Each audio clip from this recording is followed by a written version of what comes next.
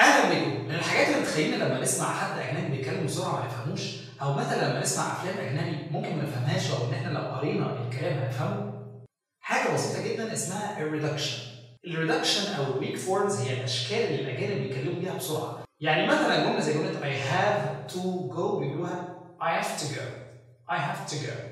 في الفيديو ده هنعرف بعض أشكال ال reduction اللي هتساعدنا نسمع English بسرعة وكمان هتساعدنا نتكلم بشكل أفضل. معاكم عمار عادل لو مش عايز subscribe اعملوا subscribe دلوقتي وتفعلوا الجرس عشان يوصلكم كل الفيديوهات الجديدة. ويلا بينا نبدأ.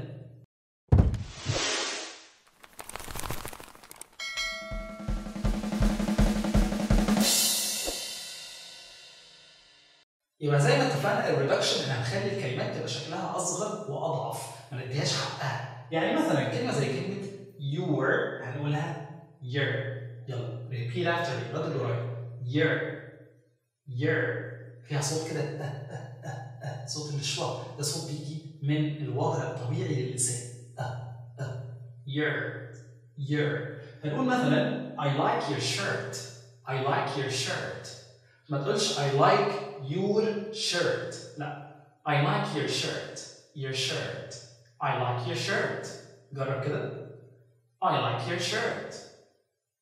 خلي بالك عشان في ناس بتيجي تحاول تيجي بالريدكشن تقول year لا مش year هي year I like your shirt نفس الكلام where is your pen هتبقى where is your pen where is your pen where is your pen your your your pen where is your pen برافو where is your pen خلي بالك من صوت البا با pen pen لو عايز تعرف اكتر عن صوت البا ارجع للفيديو ده نفس الكلام في كلمة to ما بيقولوش to ما بيدوهاش حقها بيقولوا ت ت ت فمثلا I am trying to avoid him بتبقى I'm trying to avoid him to avoid to to to avoid him I'm trying to avoid him I'm trying to avoid him ت نفس الفكرة I want to learn English بتبقى I want to learn to learn I want to learn English I want to learn English